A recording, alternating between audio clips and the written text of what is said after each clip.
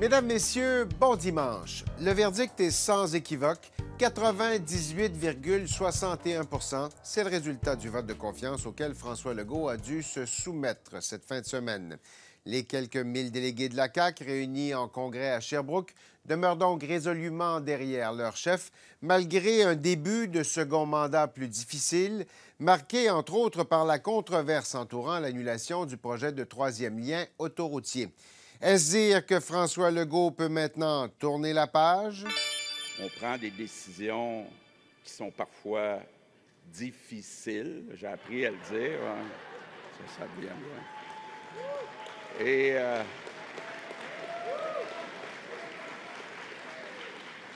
des fois, ben, euh, on peut décevoir quand on prend des décisions et euh, par contre, je peux vous garantir une chose. À chaque jour, quand je me lève, j'essaie de faire le mieux que je peux avec tout mon cœur pour le bien des Québécois. Puis euh, cette tape-là dans le dos que vous me donnez aujourd'hui, ça me fait du bien. Qu'en pense la vice-première ministre, euh, ministre des Transports et de la Mobilité durable? Je rejoins Geneviève Guilbeault à Sherbrooke. Bonjour, Madame Guilbeault. Bonjour, Monsieur Thibault.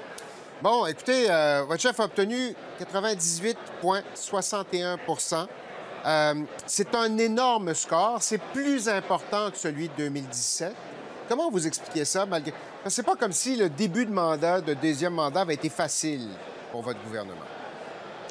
Non, vous avez raison. Le deuxième mandat n'est pas comme le premier. Euh, beaucoup, beaucoup, beaucoup de défis à relever ensemble, de continuer ce qu'on avait entamé au premier mandat, malgré une pandémie qui nous a, veut, veut pas, un peu court-circuité dans, certaines choses qu'on voulait, qu'on voulait accomplir. Donc, c'est quand même un mandat qui est important où on va devoir relever certains défis, comme je disais, accumuler du premier mandat et poursuivre les changements qu'on a voulu mettre en place au premier mandat, mais qui ont été un petit peu, disons, euh, influencés par une pandémie dont on a dû s'occuper en priorité pendant deux, trois ans. Mais honnêtement, aujourd'hui, moi, je suis tellement fière. Évidemment, moi, je ne suis pas gênée de dire que j'ai voté oui pour le vote de confiance de notre chef. Mais tu sais, notre chef, c'est notre premier ministre. Mais c'est d'abord et avant tout le chef de la coalition Avenir Québec. On est 90 députés, c'est beaucoup de gens, donc, euh, et de tous les Québécois. Et c'est un homme, moi, personnellement, que j'admire tellement. J'ai choisi de me joindre à la coalition Avenir Québec, moi, bien avant qu'on soit haut dans les sondages. Donc, c'est un homme qui a su, moi, me convaincre, me rallier, qui a fondé son propre parti en 2011 en disant, moi, je veux fonder un parti qui va être très économique, et très nationaliste, qui va nous sortir des vieilles chicanes de souveraineté et tout ça, et qui, sept ans plus tard, en 2018, a réussi à porter ce parti-là au pouvoir. Donc, c'est quand même pas rien. Tu sais, qu'on aime ou non la CAQ, il faut reconnaître le, talent et l'intelligence de cette personne-là, la compétence et son amour profond du Québec et des Québécois. Et ça s'est euh, manifesté aujourd'hui avec un vote de confiance, comme vous l'avez dit avec un score de près de 100% Alors moi, je suis très fière de mon chef. Et, Mme Guilbeault, bon, clairement, euh, l'effet troisième lien, c'est pas fait, euh, c'est pas fait sentir dans le vote de confiance, mais est-ce que il y a encore de la grogne sur le terrain Est-ce que les délégués vous en parlent de, cette question-là? Est-ce que vous en entendez parler sur le parquet? Bien franchement, moi, ici, je suis ici depuis hier matin à 9 h, depuis que ça a commencé le congrès samedi, et il n'y a personne qui m'en a parlé.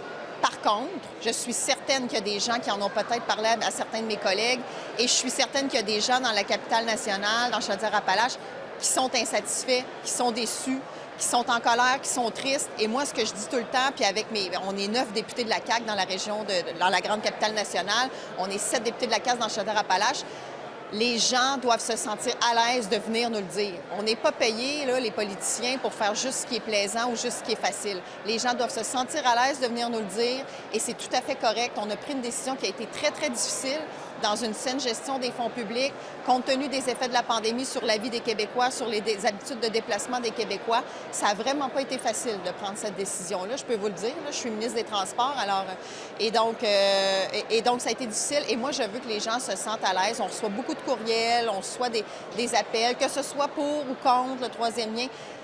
Alors, c'est normal que les politiciens reçoivent les commentaires des gens, qu'ils soient positifs ou négatifs. Alors, sentons-nous euh, sentons-nous très à l'aise de le dire. Ici, personne ne m'en a parlé. Euh, je suis surprise, je suis surprise, moi aussi, je dois le dire. Mais donc, euh, les gens sont très de bonne humeur. Je dois dire que l'ambiance est très bonne ici depuis deux jours. Les gens sont de bonne humeur. On est content. Oh, il y a eu des, propositions très intéressantes qui ont été débattues hier, notamment sur le transport, notamment sur l'énergie. L'énergie, la transition énergétique, je vous dirais, ça fait l'objet de beaucoup, beaucoup de discussions. C'est le débat de société qu'on doit avoir en ce moment avec les défis en électricité et autres. Alors, l'ambiance est bonne. Parlons-en du transport, justement, parce qu'il y a eu des résolutions, entre autres, sur la question de, construction d'un TGV entre, Québec et Montréal. Vous êtes la ministre des Transports. Là, pour l'instant, euh, le fédéral semble davantage prioriser un train à grande fréquence. Vous pensez quoi, vous, d'un TGV? Nous, on aimerait un TGV parce que moi, je pense, puis depuis que je suis au transport encore plus, la, vitesse, donc le temps de déplacement, est le facteur qui va convaincre les gens de prendre le train plutôt que leur voiture. Alors, oui, la fréquence. Par contre, je suis d'accord sur la fréquence. Il faut que le train passe souvent. Il faut que tu puisses aller à Québec, à Toronto ou ailleurs, euh, ou à Montréal, et euh, savoir que tu vas pouvoir y aller puis revenir à des heures qui, te conviennent. Mais la vitesse aussi. En ce moment, il y a des enjeux parce qu'on partage les rails, tu sais. Donc, mhm. des fois, tu prends le train et là, le train est arrêté parce qu'il faut pas faire passer les marchandises. Et c'est ça qui, euh, qui, qui dissuade les gens de prendre le train plutôt que la voiture. Alors, la vitesse, pour moi, c'est un aspect qui est fondamental. Mais c'est un énorme investissement, Mme Guilbeault. Les deux, C'est un énorme investissement d'aller vers un train à grande vitesse. C'est là où ça heurte en général. Oui, mais c'est un projet du gouvernement fédéral. Alors, c'est le gouvernement fédéral qui va investir pour ce projet-là. C'est correct, c'est normal. Je vous dirais, nous, ici, on a beaucoup, beaucoup de pression sur les finances publiques au Québec. On doit financer nos routes au complet parce que le fédéral, maintenant, euh, finance seulement le transport collectif ou à peu près. Alors, euh, donc, et le fédéral participe au transport collectif. Mais donc, je pense que c'est correct que le fédéral finance un projet de train. Entre les deux, je penche pour la vitesse. Mais en ce moment, pour ce que j'en sais, j'ai discuté avec mon homologue, M. Algabra, le ministre des Transports fédéral. Et ils ont créé euh, comme un bureau de projet, là, et donc ils sont en discussion avec des consortiums, avec des gens, pour essayer peut-être de faire un mode hybride. Alors, on va voir le projet qu'ils vont nous déposer. Dans tous les cas, moi, je salue le fait que le fédéral veuille investir pour un train, quel qu'il soit, pour euh, relier des, centres économiques importants. Alors, on va voir le projet qu'ils vont nous déposer. On pourra commenter euh, le moment venu. Mais moi, je suis heureuse que le fédéral investisse dans un projet de transport collectif efficace qui va le des, des métropoles économiques. vos militants ont également euh, ont également abordé la question d'un tarif unique euh, dans les réseaux de transport en commun pour les jeunes, les étudiants, les aînés. C'est un incitatif non négligeable pour faire en sorte que les gens utilisent ce moyen de transport-là pour justifier les investissements que votre gouvernement injecte euh, à Montréal, à Québec, entre autres. Qu'est-ce que vous pensez de l'idée d'un tarif unique comme ça? C'est une idée, je vous dirais que sur le principe, c'est une bonne idée. Dans un monde idéal, il y aurait un tarif unique partout et je dirais dans un monde idéal, tout le monde pourrait prendre du transport collectif accessible, fréquent, de bonne vitesse, donc c'est pas trop long quand tu le prends et ça coûte pas cher. Ça, c'est le monde idéal. Dans la réalité du Québec, vous savez, on a un beau grand territoire qu'on aime beaucoup, des belles régions, des vastes territoires, des, des parcs nationaux et tout ça, mais ça fait en sorte qu'on n'a pas de la densité partout. Il y a des endroits où il n'y a pas de densité, ce qui fait que le transport collectif doit être fait différemment de, par exemple, à Montréal ou à Québec ou à Gatineau. Alors, euh, compte tenu de cette réalité-là, les coûts sont différents, les modes de transport sont différents. Alors, faut être réaliste aussi. Je vous parlais tout à l'heure de la pression qu'on a sur les finances publiques à devoir financer, entre autres, le maintien de notre réseau routier. Chez nous, là, on a 33 000 km de réseau routier à entretenir au ministère des Transports, sans parler du développement, donc des prolongements d'autoroutes, des élargissements d'autoroutes qui sont nécessaires dans certains coins où il y a beaucoup de développement, où il y a beaucoup de gens qui vont s'installer. En particulier, depuis la pandémie, on le sait, il y a beaucoup de gens qui ont quitté les centres urbains pour aller dans les régions. Alors, il y a déjà beaucoup d'investissements qui sont nécessaires. Donc, il faut euh, prioriser. Il faut le faire intelligemment, il faut choisir les projets de transport collectif. Et c'est sûr que dans tout ça, la part des usagers, donc les gens, euh, le, prix, l'argent que les gens paient pour prendre le mhm. transport collectif, ça fait partie, la recette de ces, de, ces revenus-là, ça fait partie de ce qui nous permet de financer notre transport collectif. Donc, il faut le faire comme il faut. Il faut être capable, il faut être réaliste, il faut être capable de financer ces projets-là. Mais à terme, un jour, peut-être après vous et moi, mais un jour viendra où on aura du transport collectif tellement bien organisé partout au Québec que peut-être qu'on en arrivera là. Madame Guilbeault, rapidement, vous avez été accueillie par des syndiqués du secteur public qui, euh, qui, qui réclament euh, un ajustement salarial d'une douzaine de pourcents. Vous venez de déposer en Chambre un projet de loi pour majorer le salaire des députés à 30 de 30% Comment vous faites pour justifier ça devant les salariés euh, du, secteur public qui sont en pleine négociation?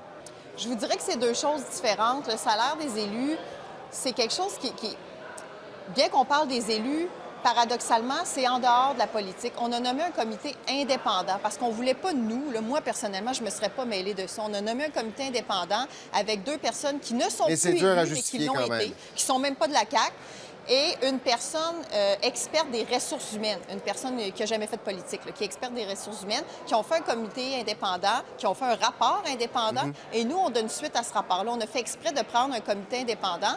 On y donne suite. Ça fait quand même 20 ans. Ça fait 20 ans que le salaire des élus n'avait pas été euh, modifié. C'est une discussion qui court. Moi, ça fait 6 ans que je fais de la politique. Ça fait 6 ans que j'entends parler de ça. Alors là, on s'est proposé de régler ce problème-là une fois pour toutes, de régler ça d'une manière indépendante par des gens qui ne sont pas en politique en ce moment. On donne suite à leur rapport et ensuite de ça, on passe euh, à autre chose. Geneviève Guilbeault, c'est tout le temps euh, qu'on avait. Merci infiniment d'avoir été des nôtres. Merci à vous. Bonne journée.